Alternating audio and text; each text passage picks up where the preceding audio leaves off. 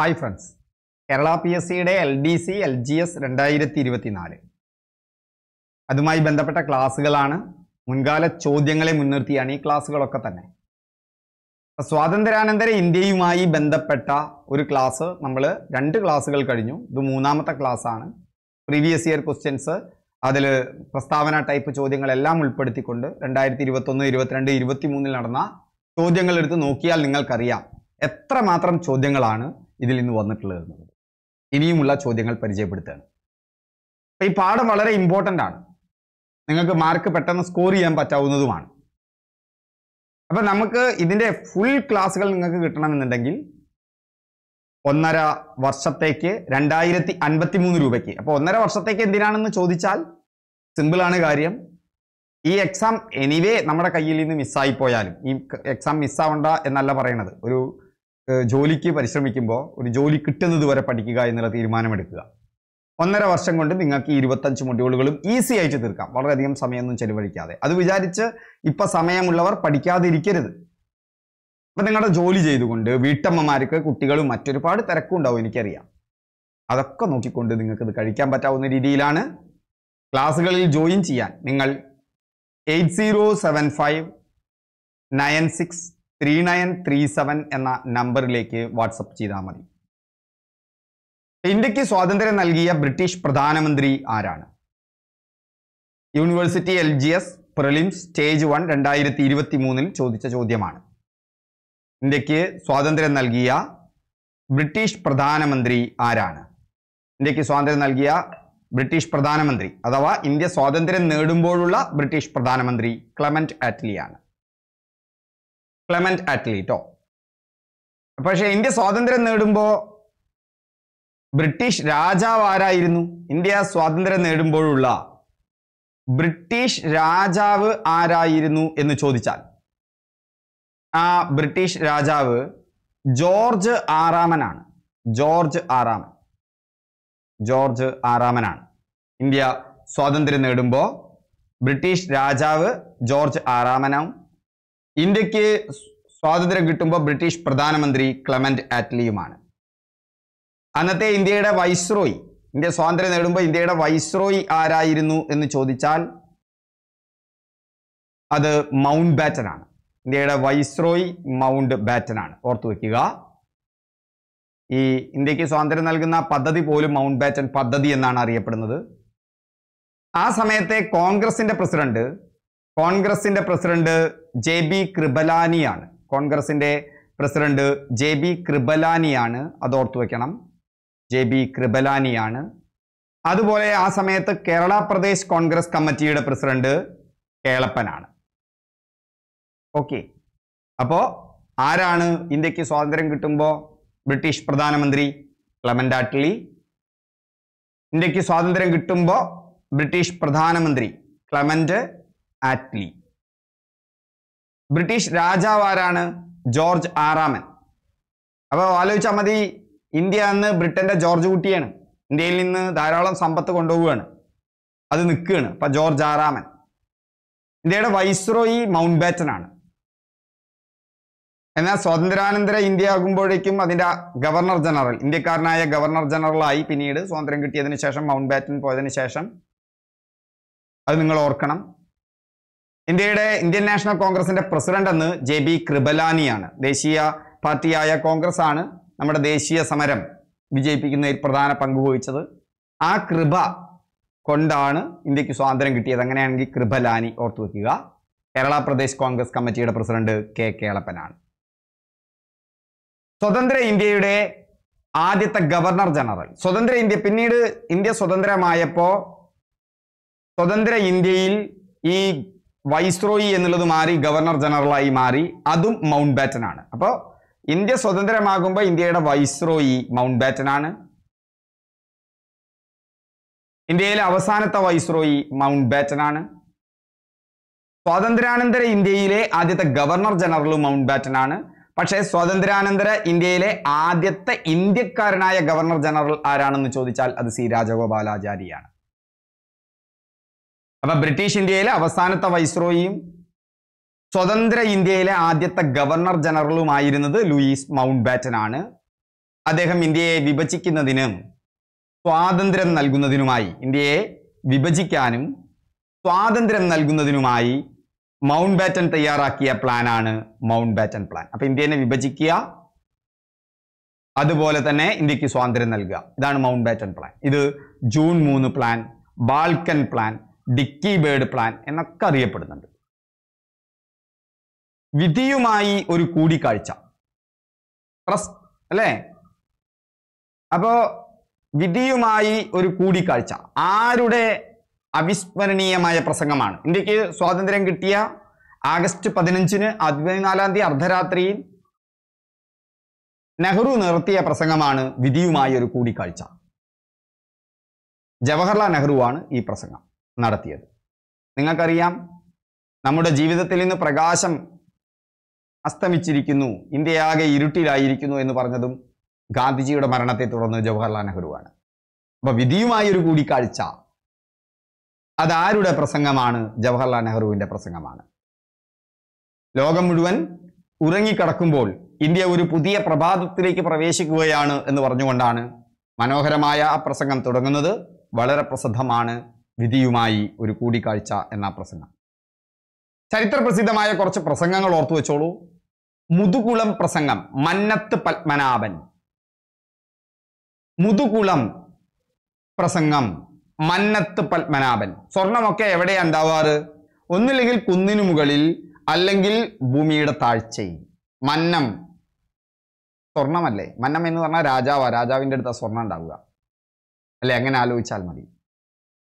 അപ്പൊ മുതുകുളം. ഒന്നില്ലെങ്കിൽ മുതുകത്ത് എന്ന് പറഞ്ഞാൽ മലയുടെ മുഖ മുതുകത്ത് മുതുകത്ത്. അല്ലെങ്കിൽ കുളത്തിൽ. രാജാവിന് സ്വർണം കിട്ടും. മുതുകുളം പ്രസംഗം മന്നത്ത് പത്മന മന്നത്ത് പത്മനാഭൻ. കോഴഞ്ചേരി പ്രസംഗം. കോഴഞ്ചേരി പ്രസംഗം സി കേശവൻ. കേശവനാണ്. കോഴഞ്ചേരി പ്രസംഗം കോഴയെ എന്താക്കിയതാണ്? കൊന്ന ആൾ ശവമാക്കിയ ആളാണ് കേശവൻ ഓർത്തോളൂ. അവരൊക്കെ ആദ്യകാല നേതാക്കന്മാരാണല്ലോ. അവരൊന്നും കോഴ മേടിക്കില്ല. അപ്പൊ കോഴഞ്ചേരി പ്രസംഗം സി കേശവൻ. വിധിയുമായി ഒരു കൂടിക്കാഴ്ച ജവഹർലാൽ നെഹ്റു. അത് അത് ഇന്ത്യയ്ക്ക് സ്വാതന്ത്ര്യം കിട്ടിയപ്പോൾ നടത്തിയ പ്രസംഗം. നമ്മുടെ ജീവിതത്തിൽ നിന്നും പ്രകാശം മറഞ്ഞു പോയിരിക്കുന്നു. ആ പ്രസംഗവും ജവഹർലാൽ നെഹ്റുവാണ്. ഗാന്ധിജി മരിക്കുമ്പോൾ ക്വിറ്റ് ഇന്ത്യ പ്രസംഗം മഹാത്മാഗാന്ധിയാണ്. ചിക്കാഗോ പ്രസംഗം നിങ്ങൾക്കറിയാലോ? സ്വാമി വിവേകാനന്ദൻ. അങ്ങനെയാണ് ഹിന്ദു മോങ് ഹിന്ദു സന്യാസി എന്ന് അറിയപ്പെടുന്നത്. സർവമത സമ്മേളനത്തിലാണ് അദ്ദേഹം അദ്ദേഹം പ്രസംഗിക്കുന്നത്. ചിക്കാഗോ പ്രസംഗം സ്വാമി വിവേകാനന്ദൻ. സ്വാതന്ത്ര്യാനന്തര ഇന്ത്യയിൽ നാട്ടുരാജ്യ സംയോജന പ്രക്രിയയിൽ പങ്കുവഹിച്ച വ്യക്തികളുടെ ഗ്രൂപ്പിൽ നിന്നും ശരിയായ ജോഡി. നാട്ടുരാജ്യങ്ങളെ ഇന്ത്യ രാജ്യത്ത് യോജിപ്പിക്കുന്നതിന് വേണ്ടി പ്രവർത്തനം നടത്തിയ ആളുകൾ ആരെല്ലാമാണ്? ഒന്ന് നമുക്കറിയാം വി പി മേനോനാണ് വല്ലഭായ് സോറി വാപ്പാല പങ്കുണ്ണി മേനോൻ. അദ്ദേഹം ഇന്ത്യയിലെ നാട്ടുരാജ്യ സംയോജന പ്രക്രിയയിൽ പങ്കെടുത്ത ആളാണ് സർദാർ വല്ലഭായ് പട്ടേലിനൊപ്പം. പക്ഷെ ഇതിലില്ലാത്ത ആളാണ് J B Kripalani. J B Kripalani India സ്വതന്ത്രമാകുമ്പോൾ Indian National കോൺഗ്രസിന്റെ പ്രസിഡന്റ് ആയിരുന്നു. അപ്പൊ ഒന്നാമത്തെയും മൂന്നാമത്തെയും ആളുകളാണ്. ഇതിൽ വി പി മേനോൻ എന്ന് പറഞ്ഞാൽ സ്റ്റേറ്റ് ഡിപ്പാർട്ട്മെന്റിന്റെ സെക്രട്ടറി ആയിരുന്നു വി പി മേനോൻ. പിന്നീട് ഒറീസയിൽ ഗവർണറായി പോകുന്നു അദ്ദേഹം. സർദാർ വല്ലഭായ് പട്ടേൽ ഇന്ത്യയുടെ ഉപപ്രധാനമന്ത്രിയായിരുന്നു. സർദാർ വല്ലഭായ് പട്ടേലും വി പി മേനോനുമാണ് ലയന കരാർ തയ്യാറാക്കി നാട്ടുരാജ്യങ്ങളെ ഇന്ത്യയിലേക്ക് സംയോജിപ്പിക്കുന്നത്. ഇന്ത്യയിൽ നാട്ടുരാജ്യങ്ങളെ ഇന്ത്യയിൽ ലയിപ്പിക്കുവാൻ സർദാർ വല്ലഭായ് ഇന്ത്യൻ നാട്ടുരാജ്യങ്ങളെ ഇന്ത്യയിൽ ലയിപ്പിക്കുവാൻ സർദാർ വല്ലഭായ് പട്ടേലിനെ സഹായിച്ച മലയാളി ആരാണ്? അത് വി പി മേനോനാണ്. ടി ശങ്കരൻ നായർ ചേറ്റൂർ ശങ്കരൻ നായർ എന്ന് പറയുന്നത് ഇന്ത്യൻ നാഷണൽ കോൺഗ്രസിന്റെ പ്രസിഡന്റായ മലയാളിയാണ്. അമരാവതി സമ്മേളനത്തിലാണ് അദ്ദേഹം തെരഞ്ഞെടുക്കപ്പെടുന്നത്. അതുപോലെ കെ കേളപ്പൻ എന്ന് പറഞ്ഞാൽ കേരള ഗാന്ധിയാണ്. ഇന്ത്യ സ്വതന്ത്രമാകുമ്പോൾ കെ പി സി സിയുടെ പ്രസിഡന്റാണ്. ഒട്ടനവധി സാമൂഹിക നവോത്ഥാന പ്രസ്ഥാനങ്ങളിൽ പങ്കെടുത്ത ആളാണ് നേതൃത്വം വഹിച്ച ആളാണ്. വി പി മേനോനാണ് ഇന്ത്യൻ നാട്ടുരാജ്യങ്ങളെ ഇന്ത്യയിൽ ലയിക്കുവാൻ സർദാർ വല്ലഭായ് പട്ടേലിനെ സഹായിച്ച ആൾ. പാലക്കാട് ഒറ്റപ്പാലത്താണ് അദ്ദേഹം ജനിച്ചിട്ടുള്ളത്. ദ ട്രാൻസ്ഫർ ഓഫ് പവർ ആരുടെ പുസ്തകമാണ്? The transfer of power India. ഇന്ത്യയുടെ അധികാര കൈമാറ്റം എന്നുള്ള പുസ്തകം ആരുടേതാണ്? വി പി മേനോന്റെ പുസ്തകമാണ്. Okay integration of Indian states എന്നുള്ള മറ്റൊരു പുസ്തകവും അദ്ദേഹത്തിന്റെ പേരിലുണ്ട്. ഇനി അടുത്തത് ചേരുംപടി ചേർക്കലാണ്. ഈ ഭാഗമൊക്കെ തന്നെ നമ്മുടെ ഈ പത്താം ക്ലാസ്സിലുള്ള സ്വാതന്ത്ര്യാനന്തര ഇന്ത്യ എന്നുള്ള പാഠഭാഗം വായിച്ചാൽ അറിയാം ഈ ഡേറ്റുകളൊന്നും അറിയണ്ട. ഒന്ന് ഫസൽ അലി കമ്മീഷനാണ്. നിങ്ങൾക്കറിയാം ഫസൽ അലി കമ്മീഷൻ എന്ന് പറയുന്നത്. നമ്മൾ ഒരു ബ്രില്യൻ ഗസ് ഇവിടെ നടത്താം. ഫസൽ അലി കമ്മീഷൻ എന്ന് പറയുന്നത് നിങ്ങൾക്കറിയാം. സംസ്ഥാനങ്ങളുടെ പുനഃസംഘടനയുമായി ബന്ധപ്പെട്ട കമ്മീഷനാണ്. ആ കമ്മീഷന്റെ ചെയർമാൻ ഫസൽ അലി ആയിരുന്നു. അതിന്റെ അംഗങ്ങൾ എച്ച് എൻ കുൻസുറുവും അതുപോലെ തന്നെ കെ മാധവ പണിക്കരുമായിരുന്നു കെ എം പണിക്കരുമായിരുന്നു. മലയാളിയായിട്ടുള്ള കെ എം പണിക്കർ. അപ്പം ഫസൽ അലി കമ്മീഷൻ എന്ന് പറയുന്നത് നമുക്കറിയാം ആയിരത്തി തൊള്ളായിരത്തി അൻപത്തി മൂന്നിലാണ് ഫസൽ അലി കമ്മീഷൻ സ്ഥാപിതമാകുന്നത്. ഫസൽ അലി കമ്മീഷൻ ആയിരത്തി തൊള്ളായിരത്തി അൻപത്തി മൂന്നിലാണ് സിഒ ഡി ഒ ആണ് ഇവിടെ ഓപ്ഷൻ ആയിട്ട് വേണ്ടത് നോക്കാം ഒക്ടോബറോ ഡിസംബറോ എന്ന് നമുക്കറിയില്ല. പുസ്തകത്തിൽ അത് കണ്ടിട്ടുമില്ല വിചാരിക്കുക. പക്ഷെ ആയിരത്തി തൊള്ളായിരത്തി അൻപത്തി മൂന്നിലാണ് നിങ്ങൾക്കറിയാം ഭാഷാടിസ്ഥാനത്തിലുള്ള ആദ്യ സംസ്ഥാന രൂപീകരണം വരുന്നത് ആന്ധ്രാപ്രദേശാണ് ആന്ധ്രയാണ്. തെലുങ്കാന തെലുങ്ക് സംസാരിക്കുന്നവരുടെ വേണ്ടി ഒരു പ്രത്യേക മറ്റേ രാജ്യത്തിന് ഒരു സംസ്ഥാനത്തിന് വേണ്ടി പോറ്റി ശ്രീരാമുലു അമ്പത്തെട്ട് ദിവസം നിരാഹാരം അനുഷ്ഠിക്കുകയും നിരാഹാരത്തെ തുടർന്ന് അമ്പത്തെട്ടാമത്തെ ദിവസം അദ്ദേഹം മരിക്കുകയും തുടർന്ന് പ്രക്ഷോഭം ശക്തമാക്കുകയും അങ്ങനെ ആന്ധ്ര സംസ്ഥാനം രൂപീകരിക്കുകയാണ് ആയിരത്തി തന്നെ. എന്നിട്ടാണ് ഫസൽ അലി കമ്മീഷൻ ഉണ്ടാകുന്നത്. അത് നിങ്ങൾക്കറിയാലോ. അപ്പൊ ഫസൽ അലി കമ്മീഷൻ ആദ്യ സംസ്ഥാനം രൂപീകരിച്ചതിന് ശേഷം അങ്ങനെ വരുമ്പോൾ ആയിരത്തി തൊള്ളായിരത്തി അൻപത്തി മൂന്ന് ഒക്ടോബറും ആയിരത്തി തൊള്ളായിരത്തി അമ്പത്തി മൂന്ന് ഡിസംബറും വരുമ്പോൾ ആദ്യം നടക്കുന്നത് ഭാഷയുടെ അടിസ്ഥാനത്തിലുള്ള സംസ്ഥാന രൂപീകരണമാണല്ലോ. ഓപ്ഷൻ സി ആണല്ലോ. ബ്രില്യൻ ഗസ് അങ്ങനെ നടത്തിയാൽ മതി. അപ്പൊ രണ്ട് സി എന്നുള്ളത് ഇവിടെ എവിടെയാ വരുന്നത്? ഇവിടെ വരുന്നത് ബിയിൽ മാത്രമാണ്. ഒന്നാണെങ്കിൽ ഡിയുമാണ്. ഈ ബാക്കിയുള്ളതൊന്നും അറിഞ്ഞിട്ടില്ലെങ്കിൽ നിങ്ങൾക്ക് കിട്ടും. ഇനി ഛത്തീസ്ഗഡ് രൂപീകരണമാണ്. മൂന്ന് ഛത്തീസ്ഗഡ് രൂപീകരണം രണ്ടായിരം നവംബറിലാണ്. ഗോവ സംസ്ഥാന രൂപീകരണമാണ്. അത് ആയിരത്തി തൊള്ളായിരത്തി എൺപത്തി ഏഴ് മെയ്യിലാണ്. അപ്പോൾ ഓപ്ഷൻ ബി ആണ് കറക്റ്റ്. ഇത് രണ്ടെണ്ണം മര്യാദയ്ക്ക് അറിഞ്ഞാൽ ഇവിടെ റെഡിയായി ഈ പാഠം അറിഞ്ഞുകൊണ്ട് തന്നെ ഇതിന് ആൻസർ കൊടുക്കാൻ പറ്റും. ഒക്കെ ചോദിച്ചതാണ്. വുമൺ പോലീസ് കോൺസ്റ്റബിൾ രണ്ടായിരത്തി ഇരുപത്തി മൂന്നിന് ചോദിച്ചതാണ്. അപ്പൊ പ്രസ്താവന ടൈപ്പ് ചോദ്യങ്ങൾ നിങ്ങൾ വിചാരിക്കുന്നത് പോലെ ആശങ്ക നൽകുന്നതല്ല. ഒന്ന് കൂളായി ഹാപ്പി ആയി ഇതിനെ സമീപിച്ചു നോക്ക്. സമയമെടുത്തുകൊണ്ട് ഇത് ക്രാക്ക് ചെയ്യാൻ പറ്റിടും ഭാഷാടിസ്ഥാനത്തിലുള്ള സംസ്ഥാന രൂപവൽക്കരണവുമായി ബന്ധപ്പെട്ട് ശരിയായ ഉത്തരം തിരഞ്ഞെടുക്കുക. ഇന്ത്യയിൽ ഭാഷാടിസ്ഥാനത്തിൽ രൂപം കൊണ്ട ആദ്യ സംസ്ഥാനമാണ് ഡൽഹി. ശരിയല്ല നമുക്കറിയാലോ. കാരണം ഇന്ത്യയിൽ ഭാഷാടിസ്ഥാനത്തിൽ രൂപം കൊണ്ട ആദ്യ സംസ്ഥാനം ആന്ധ്രയാണ്. അപ്പൊ ഇത് തെറ്റാണ്. അത് എവിടെ ശരിയായ ഉത്തരമാണ്. ഒന്ന് അതുകൊണ്ട് ഓപ്ഷനിൽ വരാൻ പറ്റില്ല. അതുകൊണ്ട് തന്നെ നമുക്ക് കണ്ണും ചീമ്പി ഒന്ന് രണ്ട് മൂന്ന് ഒഴിവാക്കാം. ഒന്ന് രണ്ട് ഒഴിവാക്കാം. ഒന്ന് മൂന്ന് ഒഴിവാക്കാം. എന്തുകൊണ്ട്? ഒന്ന് ശരിയല്ല. ഈ ഒറ്റൊന്നറിഞ്ഞ് അതിന്റെ ഉത്തരം നിങ്ങൾക്കായി. പ്രസ്താവന ടൈപ്പ് ചോദ്യങ്ങളെ നിങ്ങൾ ഇത്ര ബേജാറോടുകൂടി സമീപിക്കേണ്ട ആവശ്യമില്ല എന്നർത്ഥം. പലതും നമ്മുടെ ഇങ്ങനെ കയ്യിൽ പോരും.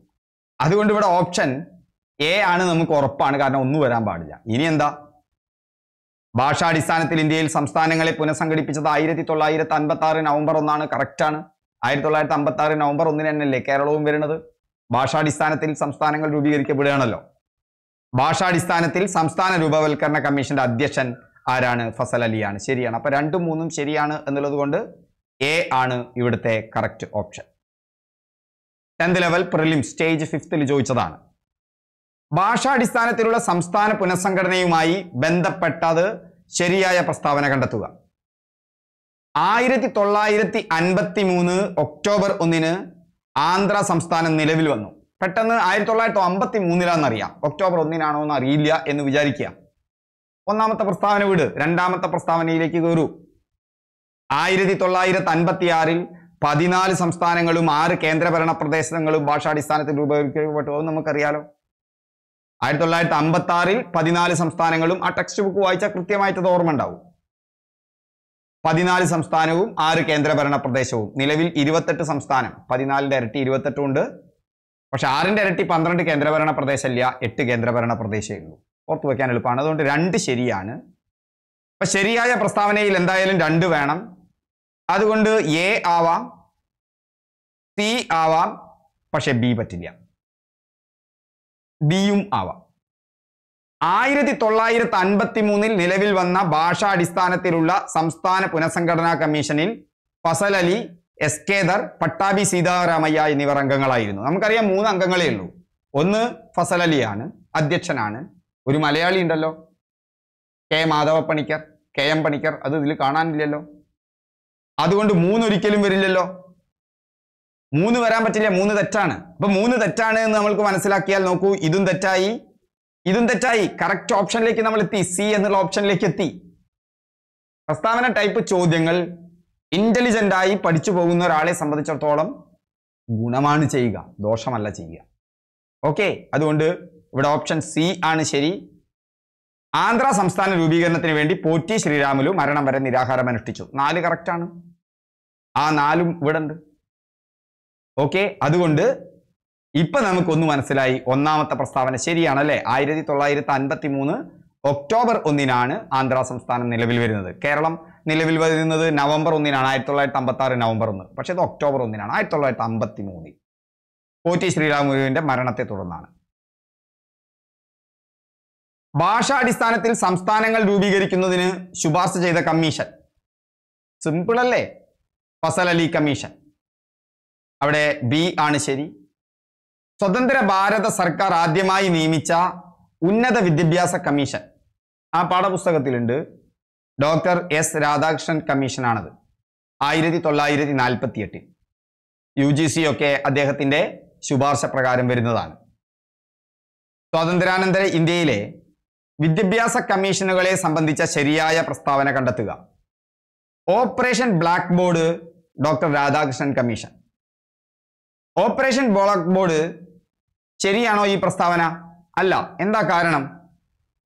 ആ ടെക്സ്റ്റ് ബുക്ക് വായിക്കുന്ന ഒരാൾക്കറിയാം ആയിരത്തി തൊള്ളായിരത്തി എൺപത്തി ആറിൽ ദേശീയ വിദ്യാഭ്യാസ പദ്ധതിയുടെ ഭാഗമായാണ് പ്രാഥമിക വിദ്യാലയങ്ങളിലെ ഭൗതിക സാഹചര്യം മെച്ചപ്പെടുത്തുന്നതിന് വേണ്ടി ഓപ്പറേഷൻ ബ്ലാക്ക് ബോർഡ് വരുന്നത്. അതുകൊണ്ട് ഒന്ന് തെറ്റാണ്.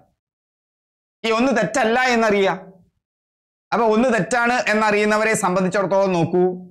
ഒന്ന് വരാൻ പാടില്ല. അപ്പൊ ഒന്നും മൂന്നും പറ്റില്ല. ഒന്നും നാലും പറ്റില്ല. എല്ലാം ശരിയാണ് എന്നും പറ്റില്ല. അപ്പൊ അവിടെ തന്നെത്താൻ ഓപ്ഷൻ രണ്ടിലേക്കും മൂന്നിലേക്കും വന്നു. ഇനി നിങ്ങൾക്ക് ഒന്നിനെ കുറിച്ച് അറിയില്ലായിരിക്കാം. രണ്ടാമത്തേക്കും നോക്കാം. സെക്കൻഡറി വിദ്യാഭ്യാസ മേഖലയിലെ കുറിച്ചുള്ള പഠനം ഡോക്ടർ ലക്ഷ്മണസ്വാമി മുതലിയാർ കമ്മീഷൻ അത് അവിടെ ഉണ്ട്. സെക്കൻഡറി വിദ്യാഭ്യാസ കമ്മീഷൻ ഇതെങ്ങനെ പഠിക്കുക? അത് ഓരോന്നും പഠിക്കുക. അതിനെന്താ കോഡ് ഞാൻ പറയാം. കഴിഞ്ഞ ക്ലാസ്സിലും ഞാൻ പറഞ്ഞിട്ടുണ്ട്. ഈ ക്ലാസ്സിൽ ഒന്നും കൂടി ആവർത്തിക്കാം. അത് കേട്ടവർക്കറിയാം. അത് ഓർത്തു വെക്കാൻ എളുപ്പമാണ്. സെക്കൻഡറി വിദ്യാഭ്യാസ മേഖലകളെ കുറിച്ചുള്ള പഠനം കറക്റ്റാണ് ഡോക്ടർ ലക്ഷ്മണസ്വാമി മുതലിയാറാണ് അപ്പൊ രണ്ട് വേണം. നോക്കൂ അങ്ങനെ നോക്കുമ്പോൾ എന്താണ്? ശരിയായ പ്രസ്താവനയാണ് രണ്ട് വേണം. രണ്ടുള്ളത് ബിയിൽ മാത്രമാണ് അങ്ങനെ നോക്കിയാലും നിങ്ങൾക്ക് കിട്ടും. അപ്പൊ ഒന്ന് തെറ്റാണെന്ന് അറിഞ്ഞാലോ രണ്ട് ശരിയാണെന്ന് അറിഞ്ഞാലോ നിങ്ങൾക്ക് കിട്ടും. ഇനി ten plus two plus three മാതൃകയിൽ വിദ്യാഭ്യാസം നടപ്പിലാക്കിയത്. അത് കോത്താരി കമ്മീഷനാണെന്ന് അറിഞ്ഞാൽ അവിടെയും കിട്ടും. മൂന്ന് ഇവിടെ വരുന്നുണ്ട്. ഒന്നും മൂന്നും ഇവിടെ വരുന്നുണ്ട്. ഇത് രണ്ട് എ ആണോ ബി ആണോ എന്നേ അറിയേണ്ടുള്ളൂ. യൂണിവേഴ്സിറ്റി ഗ്രാൻഡ് കമ്മീഷൻ രൂപീകരണം ആയിരത്തി തൊള്ളായിരത്തി അൻപത്തി ആറിലെ വിദ്യാഭ്യാസ നയമല്ല. അത് തെറ്റാണ്. അത് കോത്താരി കമ്മീഷന്റെ ശുപാർശയാണ്. യൂണിവേഴ്സിറ്റി ഗ്രാൻഡ് കമ്മീഷൻ ആ കമ്മീഷനുകളെ കുറിച്ച് ഒന്നും കൂടി നമുക്ക് പറയാം. Doctor Radhakrishnan commission doctor Radhakrishnan commission അതിൽ കൃഷ്ണൻ ഉണ്ടല്ലോ. കൃഷ്ണനെ നമ്മൾ കോളേജിലാണ് കാണുക. അതെങ്ങനെയാ? ഈ കുട്ടികളെയൊക്കെ വല്ലാതെ പഞ്ചാരടിക്കുന്ന ആളുകൾ കോളേജിലാണല്ലോ രൂപപ്പെടുക. അവരെയാണല്ലോ കൃഷ്ണൻ എന്ന് വിളിക്കുക. ഞാൻ ദൈവനിന്ദ പറയല്ലട്ടാ ഓർത്തു വെക്കാൻ ഒരു കോഡ് പറയുന്നു അപ്പൊ കൃഷ്ണൻ ആ കൃഷ്ണൻ കോളേജിലാണ്. അപ്പൊ സർവകലാശാല വിദ്യാഭ്യാസത്തെക്കുറിച്ചുള്ള പഠനമാണ് ഡോക്ടർ രാധാകൃഷ്ണൻ കമ്മീഷൻ. ആയിരത്തി തൊള്ളായിരത്തി നാൽപ്പത്തി എട്ടിലാണ് കൃഷ്ണൻ എന്ന് പറഞ്ഞാൽ ഗോപാലൻ എന്നൊരു വാക്കുണ്ട്. പശുവിനെ മേയ്ക്കുന്നവൻ തൊഴിലാണ്. മറ്റ് ദൈവങ്ങൾക്കൊന്നും അങ്ങനെ ഒരു തൊഴിൽ കാണാൻ പറ്റില്ല. അപ്പൊ തൊഴിലധിഷ്ഠിത വിദ്യാഭ്യാസം കൃഷ്ണനുമായി ബന്ധപ്പെട്ട് ഓർത്തു വയ്ക്കാം. മറ്റൊന്ന് സ്ത്രീ വിദ്യാഭ്യാസത്തിന് പ്രാധാന്യം നൽകി. കൃഷ്ണന് പതിനാറായിരത്തെട്ട് തോഴിമാരുണ്ടായിരുന്നു. അപ്പൊ സ്ത്രീ വിദ്യാഭ്യാസം. സർവകലാശാലയുമായി ബന്ധപ്പെട്ടതാണ് യു ജി സി അതുകൊണ്ട് യൂണിവേഴ്സിറ്റി ഗ്രാൻഡ് കമ്മീഷൻ ആയിരത്തി തൊള്ളായിരത്തി നാൽപ്പത്തി എട്ട് അടുത്തത് ഡോക്ടർ ലക്ഷ്മണസ്വാമി മുതലിയാർ കമ്മീഷനാണ്. ആ ലക്ഷ്മണസ്വാമി മുതലിയാർ എന്നുള്ളതിൽ തന്നെ മൂന്ന് വാക്കുണ്ട്. ലക്ഷ്മണ സ്വാമി മുതലിയാർ. മൂന്ന് വാക്ക് അതുകൊണ്ട് മൂന്ന് ഭാഷ ത്രിഭാഷാ പദ്ധതി. നമ്മളൊക്കെ പഠിക്കുമ്പോൾ മലയാളം പഠിക്കണം ഇംഗ്ലീഷ് പഠിക്കണം കൂടാതെ അറബിയോ ഹിന്ദിയോ ഏതെങ്കിലും ഒന്ന് പഠിക്കണം അല്ലെ? മൂന്ന് ഭാഷ. മലയാളം ഇംഗ്ലീഷ് ഹിന്ദി. അല്ല മല അങ്ങനെ നമ്മളൊന്ന് പഠിക്കണമല്ലോ. അപ്പൊ ത്രിഭാഷാ പദ്ധതി. സെക്കൻഡറി തലത്തിൽ വിദ്യാഭ്യാസ കമ്മീഷൻ രൂപവൽക്കരണം. മുതലാളിയാണ് അദ്ദേഹം അധികമൊന്നും പഠിക്കാത്ത ആളുകളാണ് നമ്മുടെ നാട്ടിൽ മുതലാളിമാരാവുന്നത്. അവർക്ക് കഴിവുകൊണ്ടാണ്. വിദ്യാഭ്യാസത്തിലല്ല സംരംഭകത്വത്തിലാണ് അവരുടെ കഴിവ്. അതിന് ട്രെയിനിങ് പണ്ടുണ്ടായിരുന്നില്ല. അതുകൊണ്ട് തന്നെ സംരംഭകരൊക്കെ പെട്ടെന്ന് സ്കൂളുകളിൽ നിന്ന് വിട്ടുപോയി. അവർ ബിസിനസ് തുടങ്ങി. ഇപ്പൊ മുതലിയാർ കമ്മീഷൻ സെക്കൻഡറി തലം വരെ പഠിച്ചിട്ടുള്ളൂ. ഇപ്പൊ സെക്കൻഡറി തലത്തിൽ വിദ്യാഭ്യാസ കമ്മീഷൻ രൂപീകരണം. വിവിധോദ്ദേശ സ്കൂളുകൾ സ്ഥാപിക്കൽ അധ്യാപക പരിശീലനം. ഇതൊക്കെ മുതലിയാർ കമ്മീഷനുമായി ബന്ധപ്പെട്ടതാണ്. കോത്താരി. വായയ്ക്ക് തോന്നിയത് കോതയ്ക്ക് പാട്ട് എന്നുള്ളത് പോലെ വിദ്യാഭ്യാസം പാടില്ല. അതിനൊരു മാതൃക വേണം എന്ന് പറഞ്ഞു എന്ന് ആലോചിക്കുക കോത്താരി. വായയ്ക്ക് തോന്നിയത് കോതയ്ക്ക് പാട്ട്. അങ്ങനെ താരി പാടില്ല. അപ്പൊ ഒരു മാതൃക ഉണ്ടാക്കി. പത്ത് പ്ലസ് രണ്ട് പ്ലസ് മൂന്ന്. സെക്കൻഡറി തലത്തിൽ തൊഴിലധിഷ്ഠിത വിദ്യാഭ്യാസം മൂല്യ വിദ്യാഭ്യാസം. ഇതിനോടൊപ്പം നിങ്ങൾ അറിയണം ആയിരത്തി തൊള്ളായിരത്തി എൺപത്തിയാറിൽ ഒരു ദേശീയ വിദ്യാഭ്യാസ നയമുണ്ടായിരുന്നു ഏറ്റവും അവസാനത്തെ ദേശീയ വിദ്യാഭ്യാസ നയം രണ്ടായിരത്തി ഇരുപതിലാണ് രണ്ടായിരത്തി ഇരുപത് ജൂലൈ ഇരുപത്തി ഒമ്പതിനാണ് ഇതിന് അംഗീകാരം കിട്ടിയത്. ഈ ദേശീയ വിദ്യാഭ്യാസ നയത്തിന്റെ അവസാന കരട് രൂപം രൂപീകരിച്ച സമിതിയുടെ അധ്യക്ഷൻ കസ്തൂരി രംഗനാണ് ഇപ്പോ കോത്താരി കമ്മീഷൻ പറഞ്ഞിരിക്കുന്നത് പത്ത് പ്ലസ് രണ്ട് പ്ലസ് മൂന്ന്. പത്താം ക്ലാസ് വരെ വിദ്യാഭ്യാസം പിന്നെ പ്ലസ് ടു അത് പ്ലസ് ടു പിന്നെ ഡിഗ്രി പ്ലസ് മൂന്ന് കൊല്ലം. ഇപ്പൊ പറയുന്നത് അഞ്ച് പ്ലസ് മൂന്ന് പ്ലസ് മൂന്ന് പ്ലസ് നാല് എന്നാണ്. മനസ്സിലായില്ലേ? അഞ്ച് മൂന്ന് മൂന്ന് നാല്. എളുപ്പല്ലേ? ആദ്യം അഞ്ച് വർഷം. പിന്നെ മൂന്ന് വർഷം മൂന്ന് വർഷം. പിന്നെ നാല് വർഷം. ഓക്കെ? അതിൽ ഫൗണ്ടേഷൻ സ്റ്റേജ് ആണ്. മൂന്ന് ടു എട്ട് വയസ്സ് അഞ്ച് വർഷം പ്രീ പ്രൈമറി വിദ്യാഭ്യാസം അടക്കം. എട്ട് വയസ്സ് വരെ അഞ്ച് പിന്നീട് പ്രിപ്പറേറ്ററി സ്റ്റേജ് എട്ട് ടു പതിനൊന്ന് പിന്നെ മിഡിൽ സ്റ്റേജ് പതിനൊന്ന് ടു പതിനാല് പിന്നെ സെക്കൻഡറി സ്റ്റേജ് പതിനാല് ടു പതിനെട്ട്. ഇങ്ങനെയാണ് ദേശീയ വിദ്യാഭ്യാസ നയപ്രകാരം. രണ്ടായിരത്തി ഇരുപതിലെ ദേശീയ വിദ്യാഭ്യാസ നയപ്രകാരം പുതിയ മാതൃക. ഇന്ത്യയിലെ ഉന്നത വിദ്യാഭ്യാസ മേഖല നിയന്ത്രിക്കുന്നതിനായി ഒരു സ്ഥാപനം വന്നിട്ടുണ്ട് യു കൂടാതെ higher education commission of India. Higher education ഉന്നത വിദ്യാഭ്യാസം കമ്മീഷൻ ഓഫ് ഇന്ത്യ. ഉന്നത വിദ്യാഭ്യാസ മേഖലയിലെ ഗവേഷണ മികവ് വർദ്ധിപ്പിക്കുന്നതിനായി നിലവിൽ വരുന്ന സ്ഥാപനമാണ് national research foundation. Maulana Abdul Kalam ആസാദുമായി ബന്ധപ്പെട്ട തെറ്റായ പ്രസ്താവനകൾ എന്തെല്ലാം എന്നുള്ളതാണ് അടുത്ത ചോദ്യം. സ്വതന്ത്ര ഇന്ത്യയുടെ രണ്ടാമത്തെ വിദ്യാഭ്യാസ മന്ത്രിയായിരുന്നു. അല്ല മൗലാന അബ്ദുൽ കലാം ആസാദ് നമുക്കറിയാം. സ്വതന്ത്ര ഇന്ത്യയുടെ ഒന്നാമത്തെ വിദ്യാഭ്യാസ മന്ത്രിയായിരുന്നു. അപ്പൊ ഇത് തെറ്റായ പ്രസ്താവനയാണ്. അതുകൊണ്ട് ഓപ്ഷനിൽ ഒന്ന് വേണം. ഓപ്ഷനിൽ ഒന്നുള്ളത് എയിലുണ്ട് പിന്നെ സിയിലുണ്ട് അപ്പൊ ബിയും ഡിയും നമ്മൾ നോക്കണ്ട. എയും സിയും നോക്കിയാൽ മതി. ഇദ്ദേഹത്തിന്റെ ജന്മദിനമായ നവംബർ പതിനൊന്ന് ദേശീയ വിദ്യാഭ്യാസ ദിനമായി ആചരിക്കുന്നു. ശരിയാണല്ലോ. മൗലാന അബ്ദുൽ കലാം ആസാദാണ്. ആദ്യത്തെ വിദ്യാഭ്യാസ മന്ത്രിയാണ്. അദ്ദേഹത്തിന്റെ ജന്മദിനമാണ് നവംബർ പതിനൊന്ന്. നവംബർ മാസം എന്ന് പറഞ്ഞാൽ പതിനൊന്നാണ്. തീയതിയും പതിനൊന്നാണ്. ഓർത്തു വയ്ക്കാം. പതിനൊന്നേ പതിനൊന്നാണ്. ഓർത്തു വെച്ചാൽ മതി. വിദ്യാഭ്യാസം കിട്ടിയാൽ ഒന്നാമനാകാം. അപ്പൊ പതിനൊന്നേ പതിനൊന്ന്. രണ്ടിലും ഓരോ ഒന്നുണ്ട്. അങ്ങനെ ഓർത്തു വെക്കാം. ജനുവരി ഒന്നല്ലേ? വിദ്യാഭ്യാസം കിട്ടിയ ഒന്നാമനാവാം എന്ന് ഓർക്കുമ്പോൾ തന്നെ ജനുവരി ഒന്നല്ല പതിനൊന്നാം മാസം പതിനൊന്ന് രണ്ടിലും ഓരോ ഒന്നുണ്ട്. നാലൊന്ന് പതിനൊന്നേ പതിനൊന്ന്. അതുകൊണ്ട് നമുക്കറിയാം രണ്ട് ഇതിൽ വരാൻ പാടില്ല. രണ്ട് ഇതിൽ വരാൻ പാടില്ല എന്ന് പറയുമ്പോൾ ഇവിടെ കുഴപ്പമില്ല. ഒന്നും മൂന്നും ഒന്നും നാലും തന്നെയാണ്. ആയിരത്തി തൊള്ളായിരത്തി അൻപത്തെട്ട് ഫെബ്രുവരി ഇരുപത്തിരണ്ടിന് അന്തരിച്ചു. പെട്ടെന്ന് കിട്ടുന്നില്ല. ഓർമ്മയില്ല. ഉറപ്പില്ല എന്ന് വിചാരിക്കുക. ഓർത്തു വയ്ക്കണമെന്നില്ല അടുത്തതുണ്ട് അഗ്നിച്ചിറകുകൾ ഇദ്ദേഹത്തിന്റെ ആത്മകഥയാണ്. ആണോ? അഗ്നിച്ചിറകുകൾ ആരുടെ ആത്മകഥയാണ്? ഇന്ത്യയുടെ പതിനൊന്നാമത്തെ ഉപ രാഷ്ട്രപതിയായിരുന്ന ശാസ്ത്രജ്ഞനായിരുന്ന എ പി ജെ അബ്ദുൽ കലാമിന്റെ ആത്മകഥയാണ്. അതറിയാത്തവരുണ്ടാവില്ല. അപ്പൊ നാലാമത്തെ പ്രസ്താവന തെറ്റാണ്. അതുകൊണ്ട് നാലാമത്തേത് എന്തിൽ വരണം? ഇതിൽ വരണം തെറ്റായ പ്രസ്താവനകളാണ്. അപ്പൊ രണ്ടും നാലും എന്നുള്ള ഇത് മാത്രമേ വരുള്ളൂ. ഇതാണ് കറക്റ്റ് അപ്പൊ ഒന്നും അറിയില്ല ഈ പ്രസ്താവന ടൈപ്പ് ചോദ്യം തെറ്റില്ല എന്നർത്ഥം.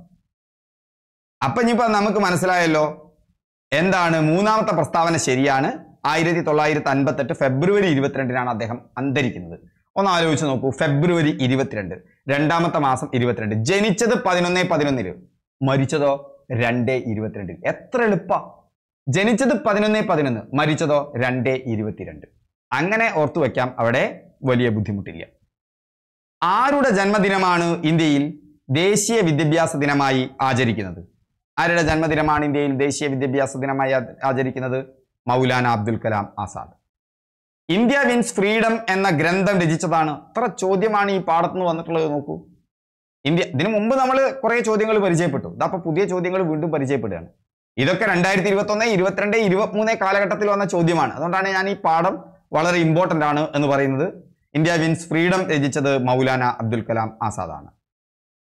ആയിരത്തി തൊള്ളായിരത്തി അൻപത്തിനാല് അറുപത്തിനാല് കാലഘട്ടത്തിൽ എത്ര ഐ ഐ ടികൾ ഇന്ത്യയിൽ സ്ഥാപിതമായിട്ടുണ്ട്? ആ പുസ്തകത്തിലുണ്ട്. അഞ്ച് ഐ ഐ ടികളാണ് ഇന്ത്യ സ്വാതന്ത്ര്യാനന്തര ഇന്ത്യയിൽ ആ പാഠത്തിലുണ്ട്. അടുത്തത് കറണ്ട് അഫയേഴ്സുമായി ബന്ധപ്പെട്ട ഒരു ചോദ്യമാണ്. ശ്രീനാരായണ ഗുരു ഓപ്പൺ സർവകലാശാലയുടെ ആദ്യത്തെ vice chancellor Sreenarayana Guru open സർവകലാശാല എന്ന് പറഞ്ഞാൽ കേരളത്തിലുള്ള സർവകലാശാലയാണ്. അടുത്ത് തുടങ്ങിയതാണ്. Doctor P M Mubarak Pasha Sreenarayana Guru open സർവകലാശാലയുടെ ആദ്യത്തെ vice chancellor doctor P M Mubarak Pasha. എങ്ങനെയാണ് ശ്രീനാരായണ ഗുരുവിനെയും ഈ പി എം മുബാറക് ഭാഷയെയും കൊടുക്കുക? മുബാറക് ഭാഷയാണ്. മുബാറക് ഭാഷ പാവങ്ങൾക്ക് വേണ്ടി നിന്ന ആൾ. ആയിരുന്നു ശ്രീനാരായണ ഗുരു അല്ലേ? പാവങ്ങൾക്ക് വേണ്ടി നിന്ന ആളായിരുന്നു. ആ രീതിയിൽ പാഷ ഓർത്തു വെക്കുക. പാവങ്ങൾ പാഷ അതല്ലെങ്കിൽ ഭാഷ എന്ന് പറഞ്ഞാൽ ഭാഷ എന്നതല്ലോ. ഒരുപാട് കൃതികൾ ഉണ്ടാക്കിയ ആളാണ് ശ്രീനാരായണ ഗുരു. അവിടെയും ഭാഷ എന്നോർത്ത് വെക്കാം. ഇപ്പൊ പി എം മുബാറക് ഭാഷ. ശ്രീനാരായണ ഗുരു ഓപ്പൺ യൂണിവേഴ്സിറ്റിയുടെ ആസ്ഥാനം കൊല്ലത്താണ്. സ്ഥാപിതമായത് രണ്ടായിരത്തി ഇരുപത് ഒക്ടോബർ രണ്ടാണ്. രണ്ടായിരത്തി ഇരുപത് ഒക്ടോബർ രണ്ട്. ഒക്ടോബർ മാസം എന്ന് പറഞ്ഞാൽ പത്താം മാസം രണ്ടായിരത്തി ഇരുപതിൽ തുടങ്ങി. പത്താം മാസം പിന്നെ രണ്ട് ഒക്കെ ബന്ധമുണ്ട്. രണ്ടായിരത്തി ഇരുപത് ഒക്ടോബർ രണ്ട് പ്രഥമ vice chancellor P M Mubarak പാഷയാണ്. Kerala university Mahatma Gandhi university Calicut university Kannur university എന്നീ നാല് യൂണിവേഴ്സിറ്റികളുടെ വിദൂര വിദ്യാഭ്യാസ പരിപാടികൾ ഏകീകരിച്ചാണ് ശ്രീനാരായണ ഗുരു ഓപ്പൺ യൂണിവേഴ്സിറ്റി രൂപീകൃതമായത്. കേരള ഡിജിറ്റൽ സർവകലാശാലയുടെ പ്രഥമ വൈസ് ചാൻസലർ. ഡിജിറ്റലാണ് സജി ഗോപിനാഥാണ്. അപ്പൊ ഡിജിറ്റലിൽ നോക്കൂ ഡിജിറ്റലിലും ഡിജി സജി എന്ന് ഓർത്തു വെക്കുക. ഡിജി സജി ഓർത്തു വെക്കാം. കാരണം ഡാ മാറ്റിയാൽ സ ആയി മാറി. അപ്പൊ ഡിജിറ്റൽ എന്ന് പറയുമ്പോൾ അങ്ങനെയാണല്ലോ. തിരിച്ചും മറിച്ചൊക്കെ നമുക്ക് ഉപയോഗിക്കാം. ഡ മാറ്റിയാൽ സ ആയിട്ട് മാറി. അപ്പൊ ഡിജിയിൽ തന്നെ ആരുണ്ട്? സജി ഉണ്ട്. ഡോക്ടർ സജി ഗോപിനാഥ്. ഡിജിയിൽ തന്നെ സജി ഉണ്ട്. കേരള ഡിജിറ്റൽ സർവകലാശാലയുടെ പൂർണനാമം ഒന്ന് ഓർത്തു വെച്ചോളൂ. Kerala university of digital science innovation and technology ഇന്ത്യയിലെ ആദ്യത്തെ ഡിജിറ്റൽ യൂണിവേഴ്സിറ്റിയാണിത് ഇന്ത്യയിലെ ആദ്യത്തെ ഡിജിറ്റൽ യൂണിവേഴ്സിറ്റി ഏതാണെന്ന് ചോദിച്ചാൽ Kerala university of digital science innovation and ടെക്നോളജിയാണ് ആസ്ഥാനം തിരുവനന്തപുരത്ത് ടെക്നോസിറ്റി ക്യാമ്പസ് ആണ്. Indian institute of information Indian institute of information technology and management നവീകരിച്ചാണ് digital university രൂപീകരിച്ചത്. പ്രഥമ വൈസ് ചാൻസലർ പ്രൊഫസർ സജി ഗോപിനാഥാണ്. ഇന്ത്യൻ വിദേശ നയത്തിന്റെ മുഖ്യ ശില്പി എന്നറിയപ്പെടുന്നത്. ഇന്ത്യൻ വിദേശ നയത്തിന്റെ മുഖ്യ ശില്പി ജവഹർലാൽ നെഹ്റു ആണ്. പലതവണ ചോദിച്ചിട്ടുണ്ട്. ഈ രണ്ടായിരത്തി ഇരുപത്തി ഒന്ന് ഇരുപത്തി മൂന്നിനിടയിൽ രണ്ട് പ്രാവശ്യം തന്നെ അത് ചോദിച്ചിട്ടുണ്ട്. ഓർത്തു വെക്കുക ആ പാഠഭാഗത്തിലുണ്ട്. ചേരിചേരാ പ്രസ്ഥാനം രൂപവൽക്കരിക്കാൻ തീരുമാനിച്ച സമ്മേളനം. ചേരിചേരാ പ്രസ്ഥാനം. നോൺ അലൈൻഡ് മൂവ്മെന്റ് നാം ബാന്തുങ് സമ്മേളനമാണ്. ചേരിചേരാ പ്രസ്ഥാനം ബാന്തുങ് രണ്ട് ചേരിക്കൂല്ല അല്ലേ?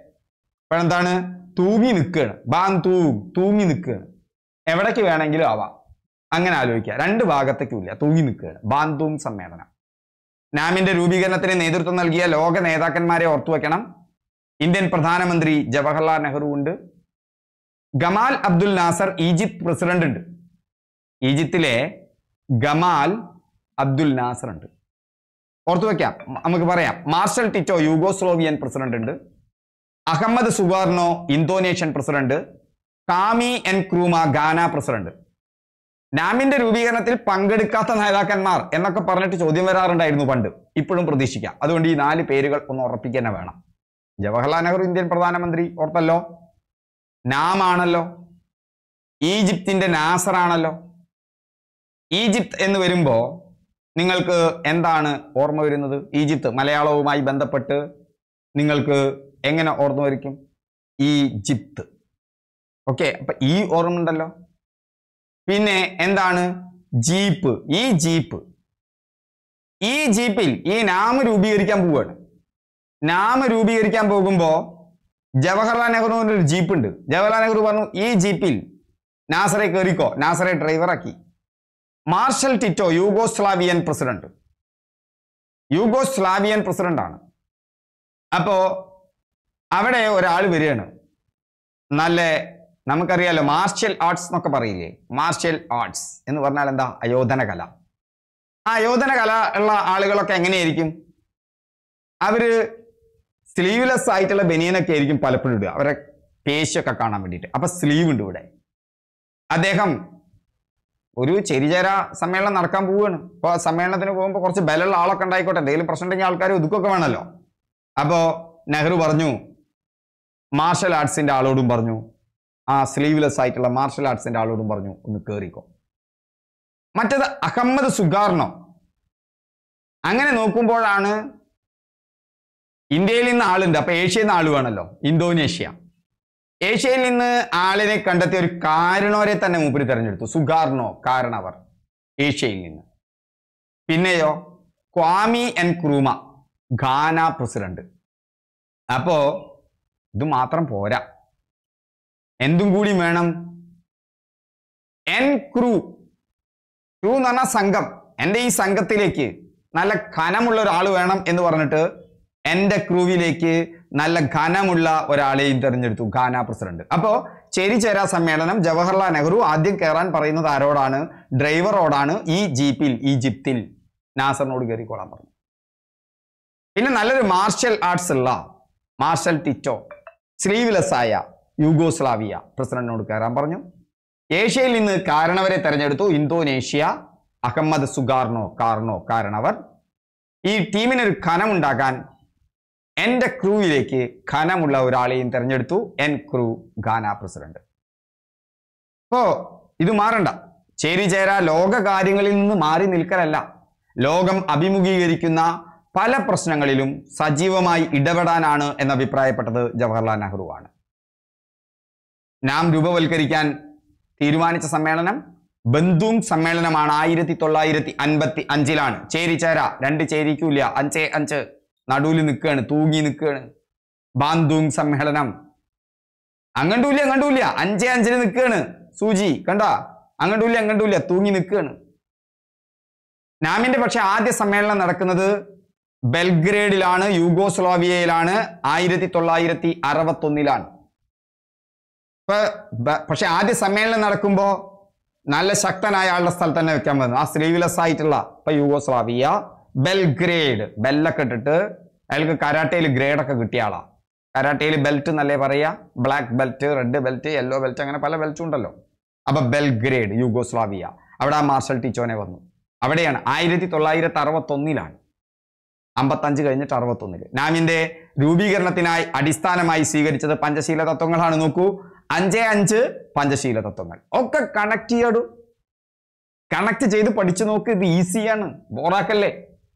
എന്നിട്ട് ഇടയ്ക്കിടയ്ക്ക് ആവർത്തിക്കണം. അപ്പോഴാണ് ഈ കഥകളൊന്ന് പറഞ്ഞിട്ട് നമ്മളൊന്ന് ആവർത്തിച്ചാൽ റീകോളും ചെയ്താൽ നിങ്ങളുടെ മനസ്സിലേക്ക് കയറി നാമിൽ ഏറ്റവും ഒടുവിൽ അംഗമായ രാജ്യങ്ങൾ ഐസർ അസർബൈജാനും ഫിജുവാണ് ചെരിചരാ പ്രസ്ഥാനം നാം രൂപീകൃതമായത് ആയിരത്തി തൊള്ളായിരത്തി അറുപത്തി ഒന്നിലാണ് ശീതസമരത്തിന്റെ ഭാഗമായ അമേരിക്കൻ യു എസ് എസ് ചേരികളിൽ പെടാതെ അമേരിക്കൻ ചേരി എന്ന് പറഞ്ഞാൽ മുതലാളിത്ത ചേരി യു എസ് എസ് ആർ എന്ന് പറഞ്ഞാൽ സോഷ്യലിസ്റ്റ് ചേരി ഇത് രണ്ടിലും പെടാതെ സ്വതന്ത്രമായി നിൽക്കാൻ തീരുമാനിച്ച രാഷ്ട്രങ്ങളുടെ സംഘടനയാണ് നാം എന്ന് പറയുന്നത്.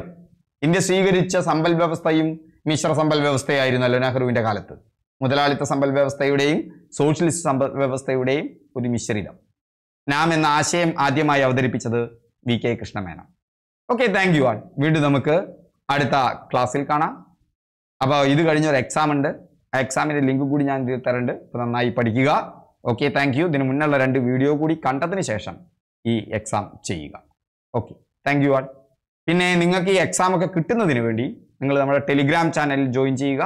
ടെലിഗ്രാം ചാനലിലെ ലിങ്കും താഴെ കൊടുക്കുന്നുണ്ട് ഡിസ്ക്രിപ്ഷൻ ബോക്സിൽ